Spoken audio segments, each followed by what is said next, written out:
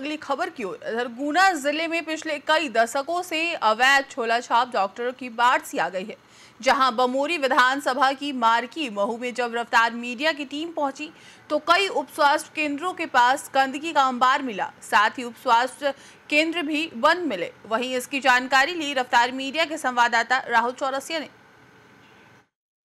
समय पर हम मार्की मऊ में खड़े हुए हैं यहाँ एक क्लिनिक संचालित है। जब हमने इनसे पूछा कि आपको क्या आपके पास में एमबीबीएस या अन्य जो लगते हैं क्लिनिक संचालित में, वो कुछ डॉक्यूमेंट्स हैं तो उन्होंने बोला, मेरी भांजी के नाम यहाँ आप देख सकते हैं, काफ़ी संख्या में बच्चे भी हैं।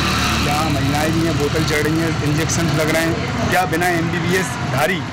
बोला छाप डॉक्टर ये उपयोग कर सकते हैं क्या? जब हमने यहाँ मेडिकल ऑफिसर भी यहाँ डॉक्टर हैं, उनका डॉक्टर से जब बात करी तो उन्होंने बोला कि आप अपने स्तर से कार्रवाई करवाइए। हमारी सी से बात हुई, गुना। उन्होंने बोला कि मैंने मेडिकल ऑफिसरों को जानकारी दी है कि इस प्रकार की क्लिनिक सील होना चाहिए। फ़िलहाल एक बड़ा मामला है।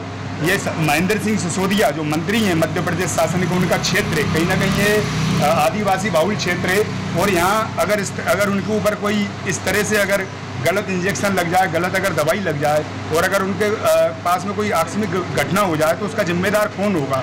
कहीं ना कहीं ये मेडिकल के ऊपर एक बड़ा सवालिया निशान खड़ा है। मुख्यमंत्री शिवराज सिंह चौहान जहाँ गरीबों के हित के अपने आप को नेता बताते हैं, उनके ऊपर एक जोरदार तमाचा है। इस तरह से अगर ये माल सामने आता है, ये गुना कलेक्टर को भी देखने के लिए एक जो बड़ा मामला है कि एम बी बी एस कहाँ है अभी, और यहाँ वर्तमान में हमें कोई भी ऐसा डिग्री डारी डॉक्टर नहीं मिला।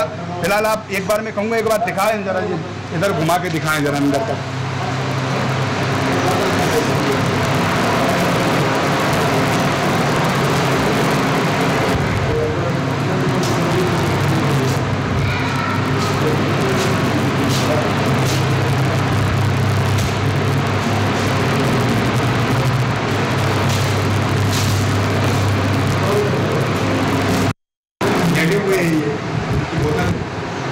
निकाली गई है देख सकते हैं यहाँ भैया, क्या आप आपके पास डिग्री है क्या? मेडिकल क्या डिग्री है आपके पास? जी एन एम है आपके पास? आप दिखाएँगे यहाँ पे नहीं है जी एन एम बता रहे हैं। इन मौके पे कोई डिग्री नहीं मिल रही। जी एन एम बता रहे हैं ये।